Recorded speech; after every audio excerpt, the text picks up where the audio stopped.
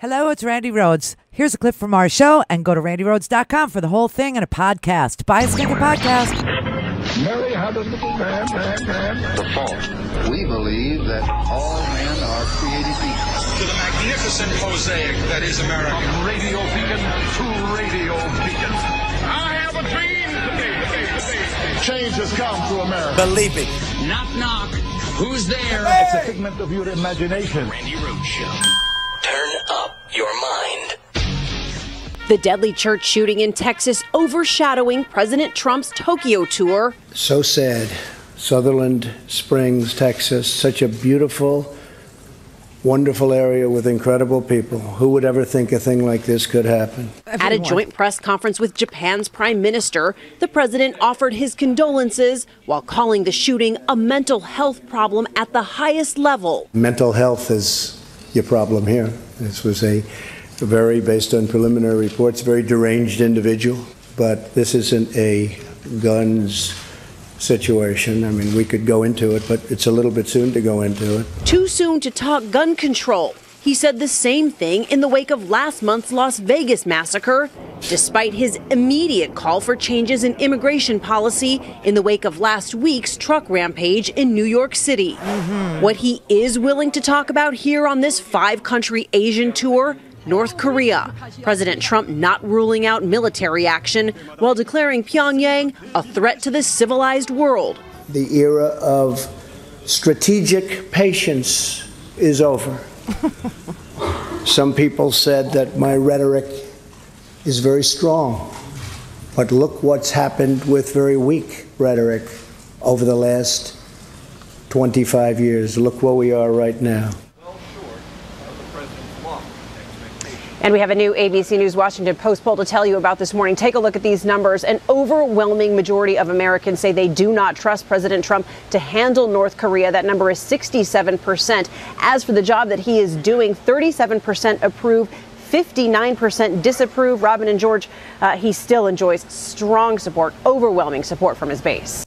Oh, for Pete's sake, for the love of Jesus. I, I just, uh, it, it's Monday, so there had to be another mass shooting. See, uh, it's America, everybody. This is what freedom smells like death. Our freaking gun lifestyle is killing us.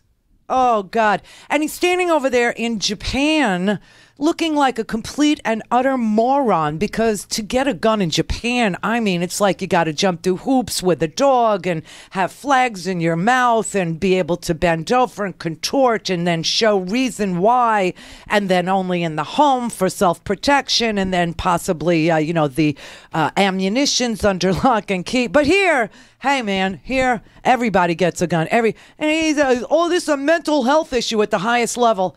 That's what I think every time I see him. That's what I think I'm looking at every time I look at him. A mental health issue at the highest level. Oh, I just couldn't believe what he said. This is not a gun situation, everybody. It's not a gun situation. And I think that uh, mental health is your problem here. This was a It's your problem very, here. based on preliminary reports, very deranged individual. A lot of problems over a long period of time. We have a lot of mental health problems in our country, as do other countries. But this isn't a guns situation. I mean, we could go into it, but it's a little bit soon to go into it. But Shut up. You know, if we have the same mental health problems as every other country has, how come every other country doesn't have the same death count that we have by gun? How how is that? How is that possible?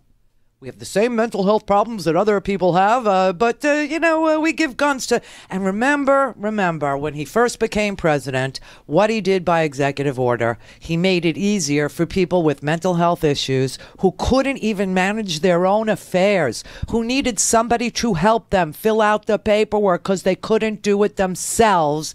They could get a gun. He overturned an Obama executive order that said you couldn't, and he said if you did have a mental health issue and you couldn't manage your own affairs and you needed help with uh, you know filling out your disability application you shouldn't be excluded because that would prejudice the mentally ill now he says, uh, you know, you're asking me what we got here. What I'm saying you got here is a mental health situation. Here is what you got here.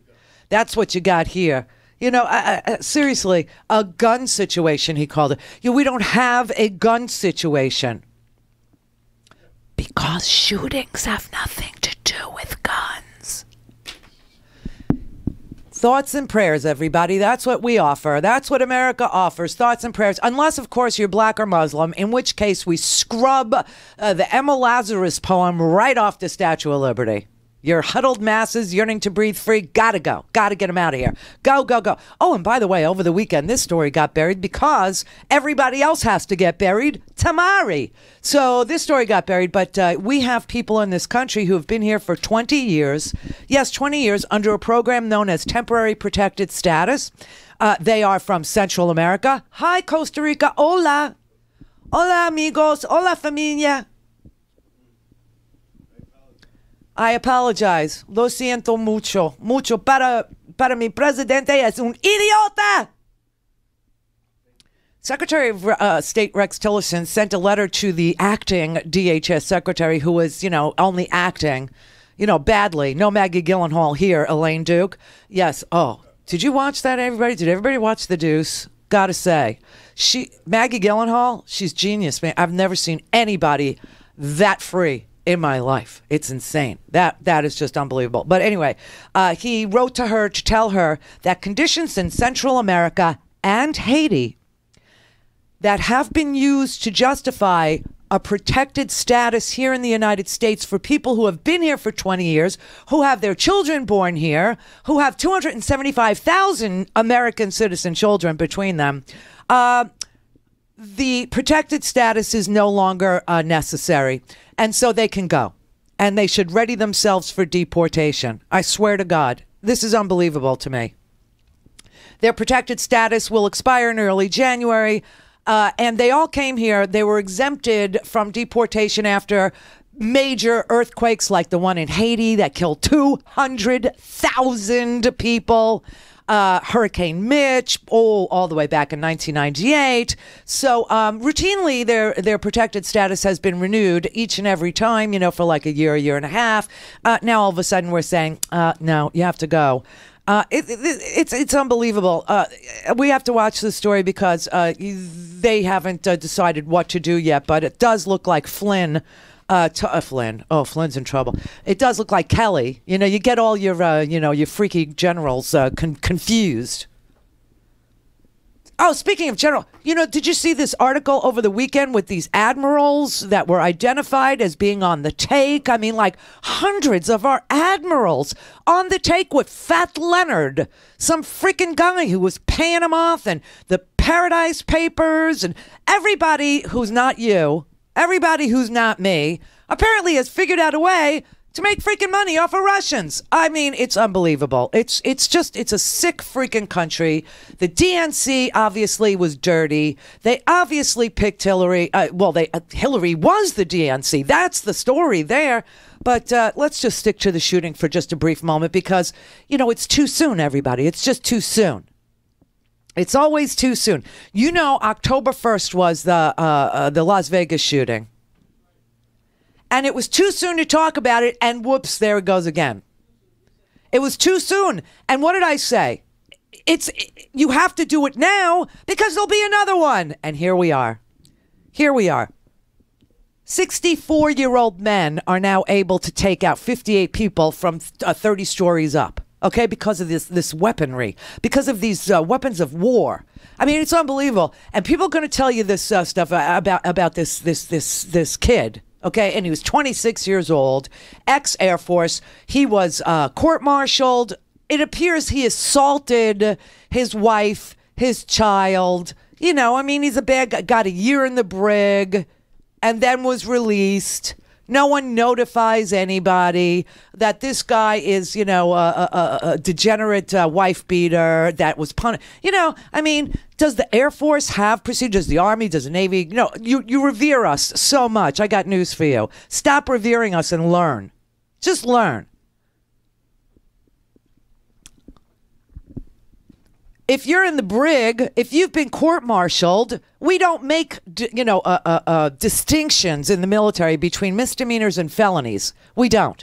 If you're court-martialed, you sh- you're, it's a felony. Period. Even if what you did was a misdemeanor in real life, because you give up your, your your civil rights when you join the military, you become GI, government issue, and you live under the UCMJ, the Uniform Code of Military Justice, not the Constitution. Okay, and so if if you are court-martialed, it doesn't matter what you did. Once you Article 32 is invoked and you and you're you're you you you're you know adjudicated guilty in the military, it's uh, it's like a felony outside. And by the way, the law says somewhere that if you beat your wife, you shouldn't have a gun. You really shouldn't be able to pass background check. And yet, idiot boy here, who had both those things going for him. Oh yeah, he beat his wife, he beat his kid. He was in the brig for a year, court-martialed, uh, busted a couple of ranks. I think he made it to sergeant. Now they they they they threw him out as an airman, an airman, an E one, lowest rank there is. And he was able to buy a gun at Academy Sports and Outdoors in San Antonio. Able to buy a gun. Not a gun situation, Trump says. Nope, not a gun situation. Fortunately, somebody else had a gun that was shooting in the opposite direction. Otherwise, it would have been as bad as it was. It would have been much worse. I don't know what he's talking about in this monotone voice of his, but this has absolutely nothing to do with the fact that this guy threw his gun on the ground, got into his truck, and ran and then killed himself. I don't know what's wrong with him, particularly right now. Maybe his meds are low. I don't know. Uh, But uh, this is a mental health problem at the highest level. It's a very, very sad event. It's a, these are great people and a very, very sad event. But that's the way I view it. Thank you. That's the way I view it. Thank you. I don't give a rat's ass. We're all out here. You know, everybody, oh, it's the price of freedom. For who? Am I free to move about the country? Can I go to a movie? Can I go to a concert? Can my kid go to elementary school? Can they go to high school in Colorado? Can they go to church? Can they go to church in North Carolina? Can they go to church in Texas? Can we go to a Luby's diner? Where can we go? What can we do? This is this is the price of freedom. Freedom does not smell like death. Okay, it's just uh, uh, the, uh, you know let freedom ring. To, you know should not have the pungent odor of de- decomposing corpses and, and, and a vision of maggots. You know uh, coming through your eyeballs. I mean this is just ridiculous. And all we have to offer thoughts and prayers. Thoughts and prayers. You know I I, I tweeted that the NRA could actually because you know he said oh God is going to protect every God this and God that. Yeah, he's like the least religious president that we've seen come down the pike, okay? Uh, but God this and God that, and thoughts and prayers and thoughts and prayer. And, you know, I tweeted out the NRA could actually kill God with an Uzi or an AK or an AR. You know, they could actually kill God. And they would still say and do nothing because the Republicans are cowards. The Democrats are disorganized. They can't uh, figure their way out of a paper bag. They rigged their own primaries. But the Republicans are cowards. And I would rather, you know, have a story come out that my that that, that the party you only get two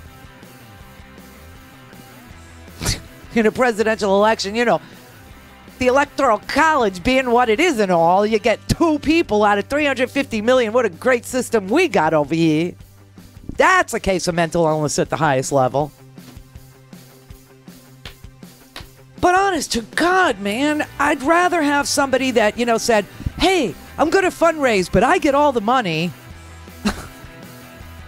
than somebody who looks at me in the face and tells me, if the Muslim name is is a, you know uh, uh, associated with the death, then we must do something about immigration laws and extreme vetting, which we already do. But if it's a white guy, it's just you know, hey, he had some mental health issues. It's not a gun thing. Go to randirhodes.com for the whole thing and a podcast. Buy a stinking podcast.